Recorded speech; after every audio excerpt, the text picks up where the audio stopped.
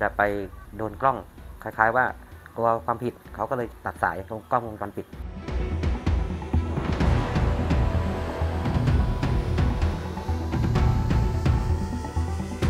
ถ้าเป็นลักษณะแบบนี้ก็ก็ไปแจ้ง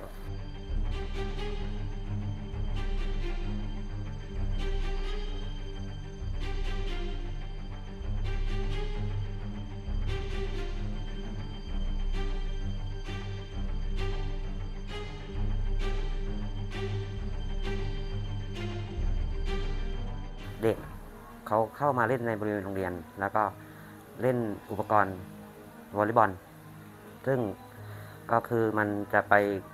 โดนกล้อง แล้วก็พอโดนกล้องเสร็จปุ๊บเขาก็คล้ายๆว่ากลัวความผิดเขาก็เลยใช้มีดหรือว่าอุปกรณ์อย่างใดอย่างหนึ่งเนี่ยตัดสายตรงกล้องวงจรปิดทำให้เกิดความเสียหายของกล้อง ซึ่งมันเป็นทรัพย์สินของทางราชการครับ เราได้เรียกมาเจรจาไกล่เกลี่ยอะไรไหม เรียกครับเรียกเรียกมาแล้วเรียบร้อย แล้วทีนี้ก็คือเด็กคนนี้เขาอยู่กับยายนะเด็กชายมะพร้าวเนี่ยอยู่กับยาย ซึ่งผมก็เรียกมาพูดคุยแล้ว เสร็จแล้วยายเขาก็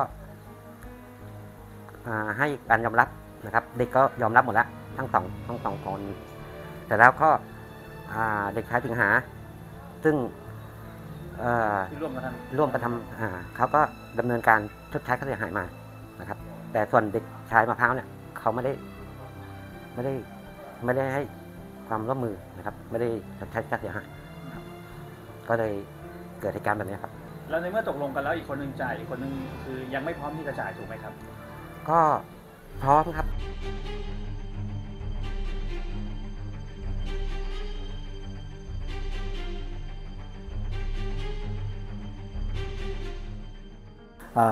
ทางสถานศึกษานะครับ ผมได้จะถอนแจ้งความตรงนี้นะครับผมเพื่อที่จะให้เด็กเนี่ยได้มีจุดยืนในสังคม แล้วก็อยู่ร่วมกับบุคคลอื่นได้นะครับ ผมเพื่อที่จะลดปัญหาสภาพจิตใจของเด็กนะครับผมแล้วก็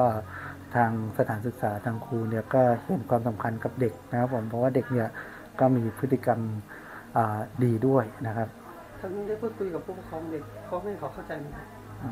การที่พูดคุยกับผู้ปกครองเด็กนะครับผมทางผู้ปกครองเนี่ยมีความเข้าใจนะครับผมกับเหตุการณ์ที่เกิดขึ้น แล้วก็พร้อมที่จะปรับเปลี่ยนปรับเปลี่ยนพฤติกรรมเด็กนะครับผมให้มีความเหมาะสมนะครับผมแล้วก็ดูแลเด็กด้วยความรักความอบอุ่นให้เด็กได้